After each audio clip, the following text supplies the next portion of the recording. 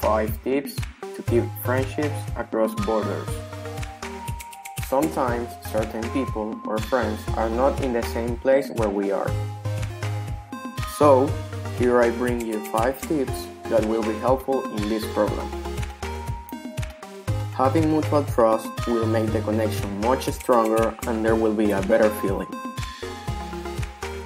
The more often you communicate with that friend, the more likely they are to maintain their relationship.